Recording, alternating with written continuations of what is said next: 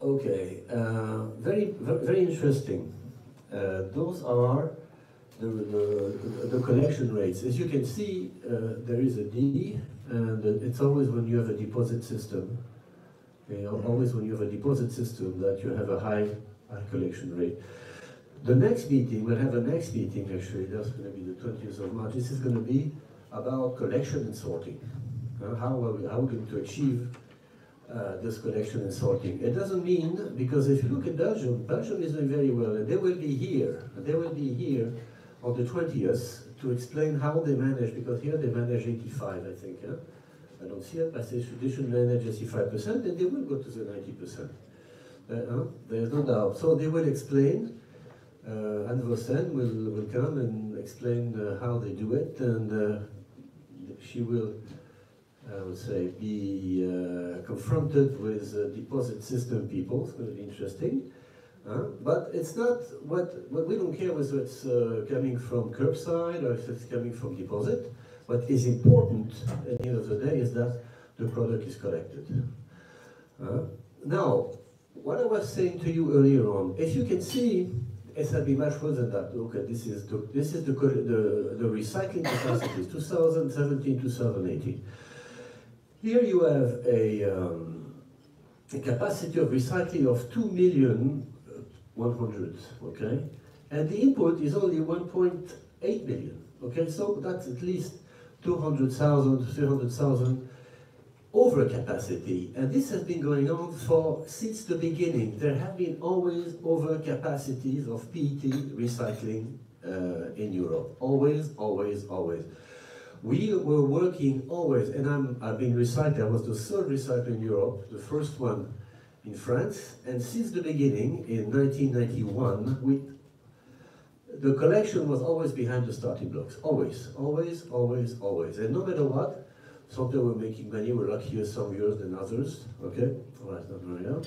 And, um, and uh, some others, uh, no, we, were, we, we always ran at 75% capacity. Now, um, the, important, the collection rate today are only on average, uh, okay, bottles. Unfortunately, not on trays. We should, uh, we- should um, recycle trays also. Huh? Okay, the SUP, uh, we have a, is a good, sorry, a good acronym for SUP, which is superb. Single-use plastic easily recycled bottle, and this is, and this is true. This is true comes from an Englishman, you know, so it's not me. They said that trays are defined in SUP directive resource consent, uh, for, for, for consumption. This is contrary, we- this is what we say of the SUP directive because we should have, we should have you know, all the trays. Why, why, why, why do we collect uh, bottles and why not trays? This is historical because at the beginning, you know, we had only manual sorting, only manual sorting, and uh, the easiest was to, to, take bottles. Now we have um, mechanical sorting, okay? It's automatic sorting, and you can very easily sort the trays. And in Belgium, this is what they're doing. They are going to, to have more fractions than, for example, uh, in France. So if you want, uh, that's why Belgium is a good model because, uh, and you know, it's they're always good to. Uh, that's why I present them as much as I can because it's really. Um, uh, it's really the model today for curbside, and we're going to have. They are going to. They are going to give us. Uh, well, sell, I suppose, the trays, huh? All right, let's hurry up a bit. Uh, chemical recycling, this is all starting up, but I can tell you that all the producers, they know exactly what sort of, uh, those, those, this is going to be wall to wall. There are different technologies, I don't have time to tell you, okay? But all the producers know exactly, uh, next door to their plant, what, what they are going to take. So as I said, either we, we, we will be able, thanks to chemical recycling, we will be able to take opaque bottles, we will be able to trays, multi-layer trays, whatever. We will be able to take it, okay? Uh, right, so now, uh, again, PET, since the beginning, is trying to show the way of circularity. The, the industry has integrated recycling centers we're working hard to collect, recycle, and return to, uh, to the market PET resin, which is truly circular.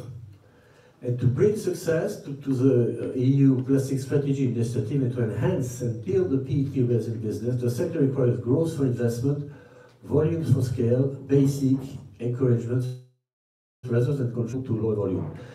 So, thank you very much. Um, and low volume, this is not a criticism. Huh? It's just that, as I said, this directive is, for us is a fantastic opportunity. Uh, really, it's the best opportunity we ever had. And as I said, being a, having been a recycler for more than 20 years, having financed many EPRs, okay, because we lost money, uh, at long last, I think we will have the tonnages. And, it, and uh, so what I've said is just not a criticism, it's just that those PET trays, if we can, try to, we have to try to collect them. They are eco-designed to be recycled, like all the bottles are eco-designed to be recycled. We will show that later on to you. Huh? Uh, only 50% are collected, and, and uh, again, I wish to thank you all for coming here, and also for this SUP directive So the line. Thank you very much. We have still have three speakers, so I'm to uh, rattle on without too much introduction. Our next speaker is Jan de Velde, who is Principal Scientist for Sustainable Packaging Development at Procter & Gamble, where he's helped drive initiatives within the company and throughout the value chain. He's currently leading a pioneering project on the standardization of markers and watermarks in packaging to increase efficiency in sorting and recycling. Yeah, thank, thank you very much, uh, for the introduction. So indeed, my daily job is still packaging development within um, Procter & Gamble, so I'm focusing full-time on sustainable packaging.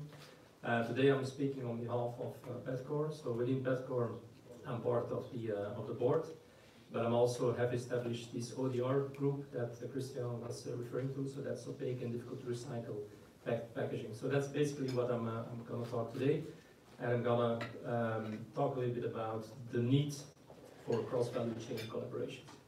Okay. So let's start with trying to identify the weaknesses in current system, right? So this is just uh, my five pillar approach. I hope everyone can see it. So there are basically five pillars, I believe, that we need to investigate and uh, identify the weaknesses and trying to find solutions for those weaknesses. The first one is really designed for circularity, right? So we need to design products that can easily be collected and recycled. The second one is then access to collection. And again, I think in the majority of member states, there is a kind of collection system in place. Um, and obviously, um, I'm also liking uh, the Belgian system the best, not because I'm a Belgian, um, but I think it's one of those uh, systems um, that are offering us very high qualities and quantities at a relative good cost. Okay, so that's an important one as well. A third one is then participation by, by consumers, right? And that's really uh, a real bottleneck today. And I think that's where uh, we as brand companies, but also through associations, we can do quite a lot um, in order to motivate more consumers to recycle more and better. A fourth one is then more focusing on, on technology of sorting, and that's again the, the, um, the case study that I, will, that I will talk. And then if you have everything in place, you basically end up with high quality recyclate for which you need to find end markets, right? And again, that's, that's where the pledge comes into play, but also where our own sustainability targets within P&G are very important. So back in 2010, we announced that we would double the amount of PCR in our packaging globally. So by 2020, we actually will consume 52,000 tons per year of PCR in our packs. Right? So those are the five pillars. Now, so let's have a look where the weaknesses are right? So as Christian mentioned, the weaknesses are definitely collection. So we're not collecting enough in, in Europe. So Christian mentioned an overcapacity. So basically what it means that is that recyclers cannot fill, fill in their plants, right? So that's, that's what we mean with an overcapacity. And then obviously there is an, um, an issue or at least a weakness also in sorting. So we need to find new technologies to sort those packs more efficiently. Okay? So having a look to the weaknesses, so the first one, design for circularity, there is definitely a lack of harmonization of, of general principles, right? The, the, real problem here is that every member state is using other collection rules. And for us as a global brand owner, or at least if, even if you look regionally, we tend to produce SKUs, bottles, um, for the region, not for specific countries, right? So this lack of harmonization is really giving us quite a lot of issues to find out the best material for the whole region. The second one is again access to collection. As already mentioned, there is no harmonized system. So whatever we call recyclable in, in, in, Germany is sometimes not recyclable in, in, in Belgium or in Germany, right? So again, harmonization of, of collection, so everywhere the same rules in all the member states would definitely help. Uh, definitely would help a lot of brand owners to design the right thing. A third one is then indeed low, a very low consumer participation. I said that's I think where the brand owners and the associations can, can focus on a lot. But also the EPR schemes, right? Again, I take the example of Fost If you see all the media campaigns of like, if you collect so many um, bottles, I can make you a fleece or I can make you whatever it is. I mean, that's that's very inspiring for consumers because indeed some, some consumers are just asking like, why, why the hell should I recycle, right? So telling them why it's important to recycle is also very key. I will talk a little bit about the, the sorting as mentioned later on. Um, and then also quality systems, right? So we need to have quality systems for the, the collected bills, the collected recycles, and so forth. So I think if you have, if, if you work all of these items in, in parallel, then obviously we're gonna reach much uh, easier um, the uh, circular economy for plastic packaging in general. Right, so those are the four points. What I'm going to do next is I'm just going to showcase uh, you two cross-value chain collaborations we have been uh, leading. One is more focusing on, on the first part, on collection, and as mentioned, the second one is more focusing on, on sorting this. Okay? So again, the real objective is to increase recycling rates overall. So let's have a first one on this one. So this is one that we have been working in my ODR, opaque and difficult to recycle. Um, working group within Petcore, so opaques is basically all the milk containers in PET, uh, the white opaques, uh, colorful opaques, but also sleeved. So sleeve bottle is something you see here and here. So a sleeve is basically you're covering the full area of a bottle, right? So that's what, what the sleeve is. And this is a very fast growing market, especially in our industry, but also in the drinks industry right? So this is something that we need to crack very fast. So the concept here is that the earlier you remove that sleeve, the easier it's, it's going to be for sorting and recycling, right? Because unfortunately, these things are not properly detected to date. Okay, so they're ending up in waste streams, and unfortunately, the majority is being incinerated, right? So we developed the concept of these perforated sleeves, as you can see here and also on the slide, with a consumer message. Okay, so, so we're asking our consumers to remove the sleeve before they sort it out and before they uh, collect it back in their blue bag or whatever um, system there is in, uh, in, place. And for this one, we also got the Greener Packaging Award from uh, Fost Plus two years ago. Um, because what we basically have been doing is we moved out of the, these bottles used to be white opaques, again, also challenging for recycling them. We removed the colorant, and instead we have been implementing this uh, sleeve concept. So the bottle underneath is a transparent PET bottle, which is perfect for recycling, right? And on top we have been loading these bottles with 50% recycled content as well. Okay, so we believe this is today the best solution we are having in the portfolio. Um, and the good thing is that also others have been following us, right? So I was glad to see that uh, other companies are just reapplying this, uh, this concept. And already in Italy, for example, we are, uh, we are getting uh, incentives to do this, right? So incentives by means of uh, bonus systems on, on the EPR. So that's basically how we can drive. Now, we have to educate all of the consumers to do this, right? So that's, that's another good reason why if more people are, are copying this, this concept, uh, the more we can reach out to them, the more people will do this. They do this, sorry.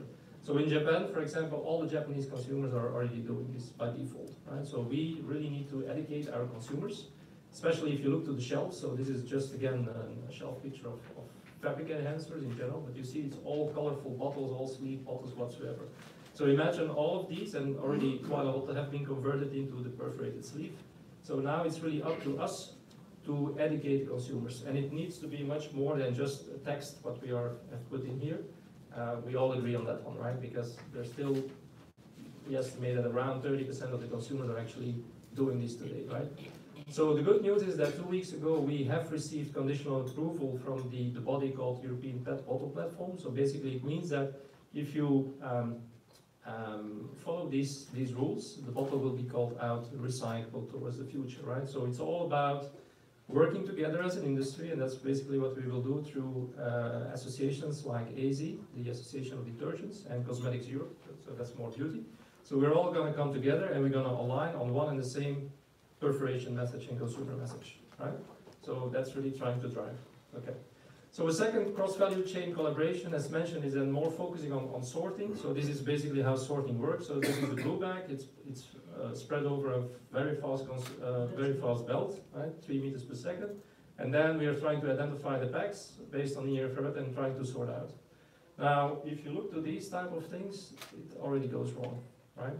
There are other things that you cannot detect, like black packaging, right? So it's, it's not detectable by near infrared, and loads of other things. So there are EFSA guidelines that you can only have like 5% of non-food bottles in the bills. Again, near infrared does not offer solutions, right? So we're looking into other ways to, uh, to do the sorting, and that's the reason why I've established this pioneering project within the new plastics economy. Again, I'm just going to speed up, but these are all the companies I mentioned. So it's a very cross-value chain, so brand owners on top, waste manufacturers like uh, Suez Veolia are, are in there, and very important also the machine vendors. The biggest one in Europe are Pellenc and, and Tomra on this one, right?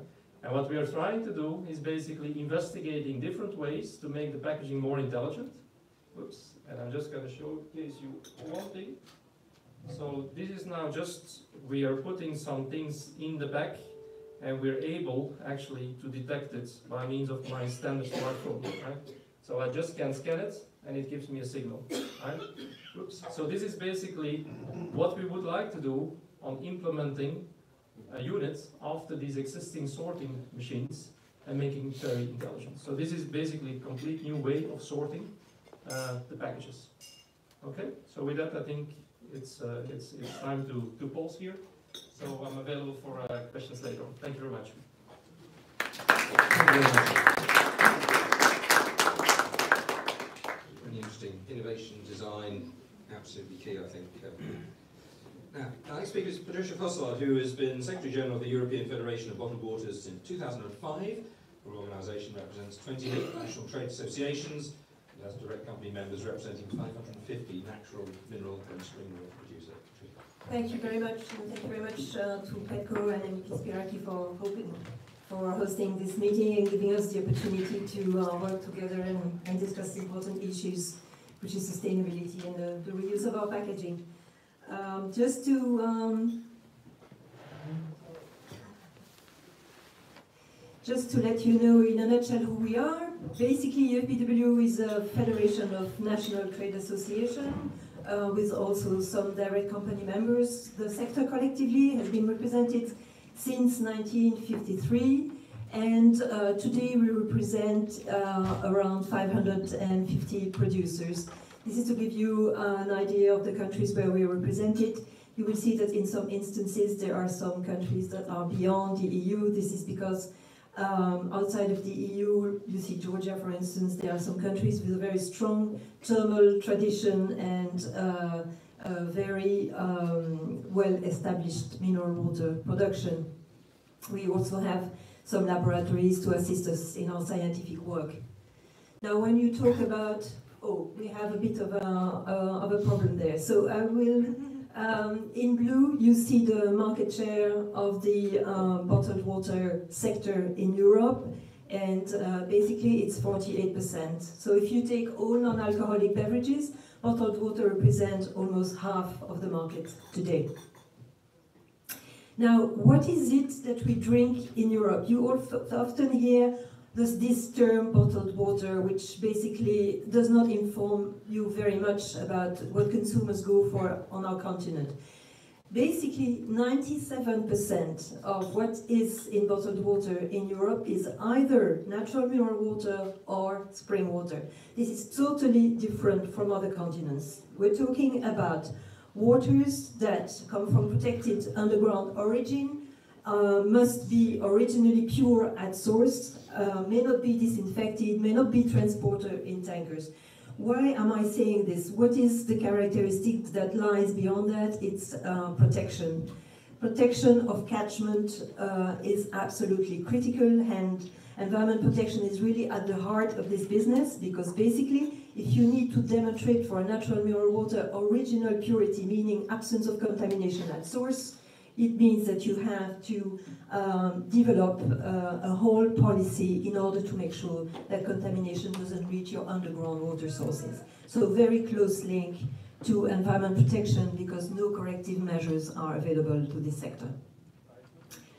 Um, now, of course, something that's important to say as well, we often uh, talk about hydration. We know that uh, consumers don't drink enough actually. EFSA issued some guidelines in uh, um, relation to hydration, and water clearly is, whether it comes from a bottle or from the tap, doesn't make any difference, is a very healthy way of satisfying those needs.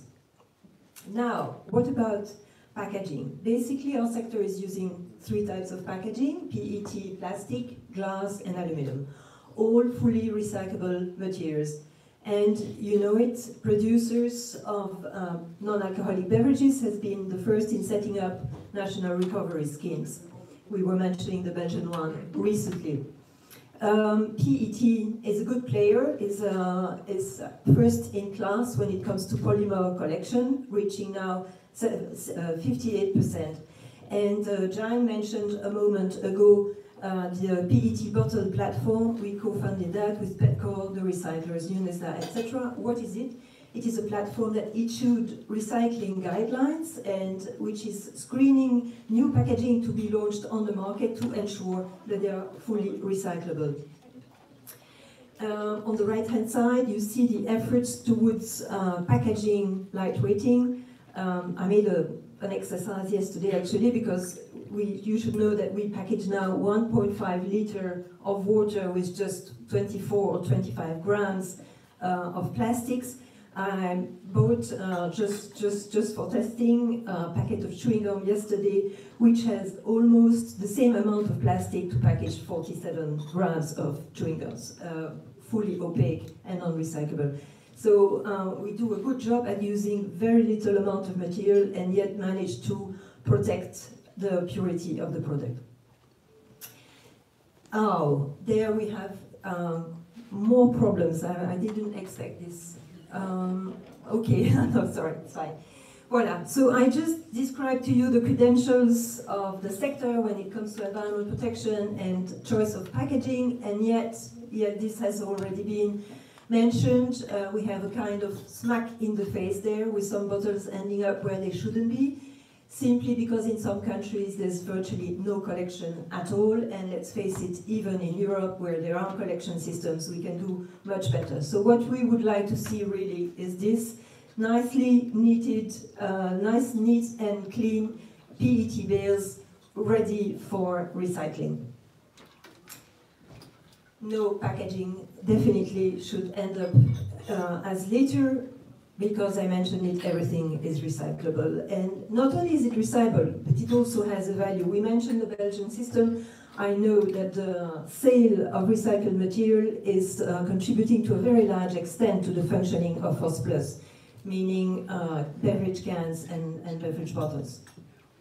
Now, um, looking at the situation about two years ago, our board um, reflected very much on the situation and how to improve it and uh, made a pledge, made a pledge towards collecting 90% and towards reusing 25% in closed loop, which is now uh, very much at the heart of the SUP proposal. And also innovation. There's a lot of innovation in the sector going on to find uh, alternatives to non-fossil based fuels, which of course is very important. And last but not least, let us not forget that because even in well-functioning, uh, even in countries with well-functioning EPR system, there is a lot of litter. Um, I mean, this is why um, there is pressure to uh, switch to, to other collection systems because consumers are not aware of their role towards ensuring um, the, the circularity of their packaging. Now, we also answered positively to DG Growth's call for um, commitment on rPET use. So, so far we have, with our members, pledged 135,000 tons of additional rPET use. Um, it's a continuous process, meaning that in June we had a certain amount, Uh, and every time we have internal meetings, smaller companies join in the effort. So it's a growing number. Um, I, I, I, know that perhaps it was a little bit disappointing to see some sectors come with a low number, but you know it takes sometimes to reach. Uh, you know there there are some companies that you can uh, take on board quicker than others. And uh, smaller members have joined us. You, you, should know that our sector is extremely fragmented. Uh, we have 2,000 sources with a lot of very small companies in remote areas, and they are joining the, the effort uh, progress, progressively. Then, of course, to achieve these goals uh, and those stated by the SUP, which we very much encourage, um, and in particular the focus on, on, on collection, of course, there are important preconditions. We've discussed already, and Christian mentioned it, uh, availability and quality, needless to say, is absolutely critical for our sector, meaning good sorting. Why is that? Because we're packaging the most uh, delicate product of them all. Um, so voila, if we want to really meet the SUP-targets uh, and, and our own pledges, um, a topic that I think Christian mentioned also, we need a baseline. We need um, sector-specific data, meaning reliable data bearing only on PET bottles, because if there are objectives related to beverage packaging, we need to have the, the data and not mixed with trays or with opaque uh, non-food bottles. That's very important for us. We don't uh, have that uh, yet. Of course, we need a dramatic increase in the efficiency of waste management systems across the EU. Needless to say, we need value chain cooperation, and I think we're starting on a very good footing uh, this year uh, in that respect. We need consumer uh, education and we very much need as well, and the Commission is helping uh, us a lot in that respect. Uh, we need a facilitating regulatory context. What does that mean? Approval of rPET processes. Commission is working on that and about to finalize, I think. And of course, standard for the quality of rPET. If we want high quality rPET that can be used uh, and reused for food purposes, of course, we need harmonized standards. So, how do we get there? Um, I think it's been said many times there is only one essential key for success, and that's collection, collection, and collection. How do we do it? Whether we do it with curbside system, traditional EPR, reverse vending machines, uh, with the deposit systems, uh, that's not what matters. What matters is what works best in one specific country. We know that uh, Belgium and Switzerland uh, on the one hand, Nordic countries and Germany on the other hand, show that both systems can work. Um, and of course, uh, there is a need not only to collect but also sort, so that indeed the circle can be achieved. Voilà, just I wanted to comment uh, a recent initiative by the European Commission. It's uh, Vice President Katainen's initiative to put us all together in one room and uh, tackle the matter and see how we can collaborate to achieve the, uh, the perfect circularity of our fully recyclable materials. So that's a fantastic initiative and we're very uh, happy to be, to be part of it. Thank you very much. Thank you, Sitting here today various parts of the uh, all, all coming together, I think it's very interesting. Well, our final speaker is Sarah Nelen, who's head of unit at the Waste Management and Secondary Materials at the DG Environment and the Commission. And before that, I had also responsibility, I think, for waste management and resources with Mr. Timkins. Thank you. Thank you. Good morning, everybody. And uh, well, what else can be said? I think the main messages uh, are out there, and uh, I can perhaps zoom in on uh, the last one that was uh, mentioned uh, three times collection, collection, collection.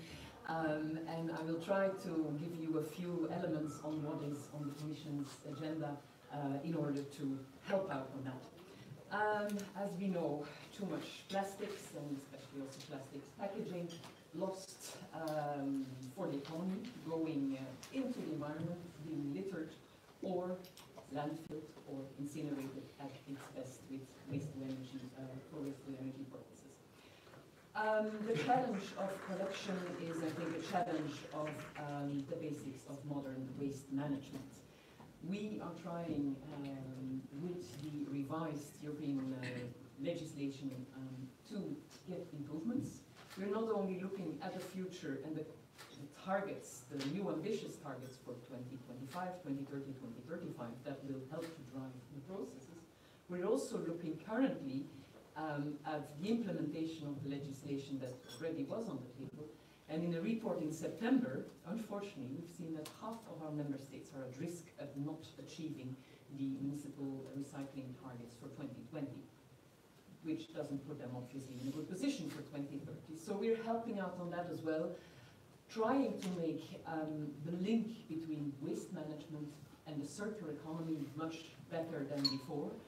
We have high-level missions to uh, these member states, involving the participation of uh, Vice President Katainen as well, but also Commissioner uh, is uh, going to the countries taking along businesses, so it's also an invitation to those who are interested to join and to make clear uh, on the ground what the importance is of separate collection and uh, waste management infrastructure. Please contact us and we're happy to uh, take you along to spread the message. Um, the revised uh, legislation has these more object, more uh, ambitious targets. There is already an obligation as well of separation of um, plastics since separate collection of plastic since 2015, but obviously it's not enough uh, implemented yet, notwithstanding efforts, and we don't see plastic yet at the same level uh, of collection as the other uh, obligations in terms of paper, metals, uh, and glass, and that is our aim, that is where we want to go. Um, the new legislation has clarified um, in terms of separate collection requirements um, some of the derogations, where actually in the previous uh, versions the derogations were kind of the rule. We've reversed the situation, separate collection is the rule and derogations have to be an exception. So commingling will be much stricter. It cannot be done if there is not a comparable quality output. There will be, or there are specifications in the legislation on the notion of separate collection when it's technically, environmentally and economically practicable, which was in the past perhaps um, too wide an excuse for doing things that don't help with quality um, collection.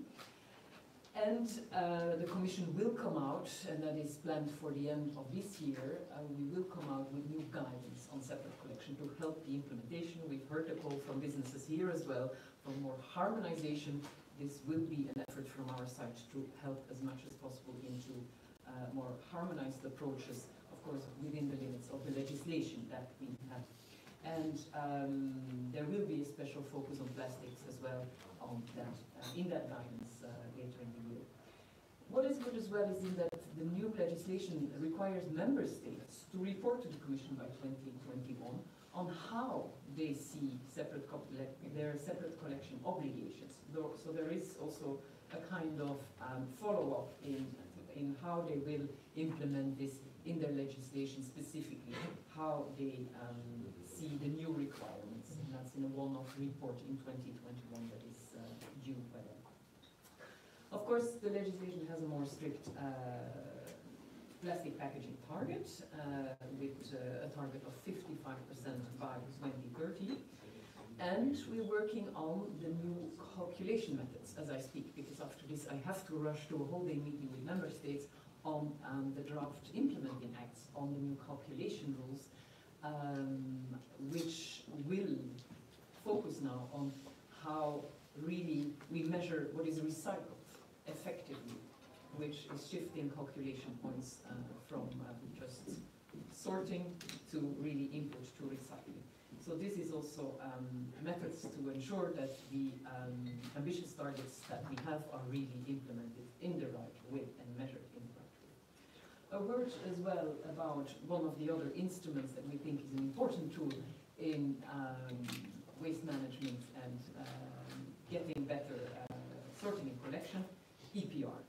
And there as well, the new legislation has reinforced uh, this tool at European level with minimum uh, requirements that uh, hopefully, that we trust, will play a role in more effective EPR systems uh, in the whole of Europe. Have quoted from Fost Plus and the Belgian example. We hope that they can be a model for other uh, countries in Europe to um, have um, Because what we see is that those countries with um, high separate collection and um, uh, recycling rates are those with good EPR systems in place. So this is important um, that the collection and treatment costs for packaging are, are uh, financed through contributions paid by the producers and done in an effective way. Um, of course, we have those tools, but I have to reiterate the point of many others before, design, design, design. This is an important element as well uh, with a view to recycling, design for recycling. Um, there the Commission is working hard as well on a review of the uh, essential requirements in the packaging. These are the requirements for packaging to be allowed on the market in Europe, but we have seen from evaluations in the past and from experience uh, and feedback as well from industry that actually they are not a great driver or incentive today towards uh, more um, recycling. They are very vague uh, and we want them to really be uh, an instrument to incentivize sustainable, sustainable, reusable and recyclable packaging. This is also the commitment that is clearly expressed in the Commission's plastic strategy of last year by 2030, all plastic packaging in Europe should be recyclable, reusable or recyclable in a cost-effective way. And this is our tool to work on that, on design um, requirements. Um, another element that goes hand in hand on design, on design, and I think uh, there have been references before, uh, experience in some member states exists already with modulation in of fees. Um, this becomes now an obligation through the new waste um, legislation that the fees are modulated and higher fees for non-recyclable products. Positive way, lower fees for uh, good design requirements. We will come out uh, with uh, guidance on that well, looking at best practices existing already in some of the member states.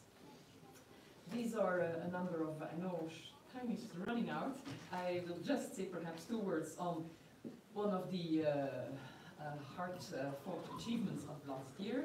I spent uh, 18th of December through the night in the single-use plastic, the suburb, suburb negotiations, and of course it is a directive that is now just finalized by the lawyer linguists. We're almost there. Normally adoption in Council, I think, in April. And of course, it doesn't stop there. Our uh, list in the Commission of implementing acts is long as well. I think we went into the negotiations with three acts. We come out with much more if you put the co-legislators together. But we're working hard on that as well and related to PET, of course, the importance of um, how will we measure and verify the recycled content. So this is also work uh, that is on our plate We have a bit more time than one year for that. Fortunately, we come with an by 2022 on that. Um, we will come as well with guidelines on the the um, the real the what exactly the products are that are covered by the legislation because there has been some confusion, for instance, on the, what are the food containers.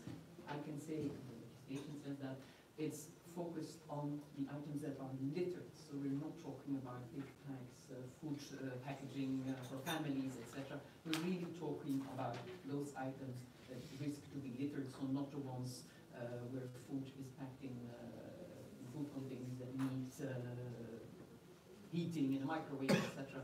So we're, we're, we've come out with more uh, clarity and examples on that as well.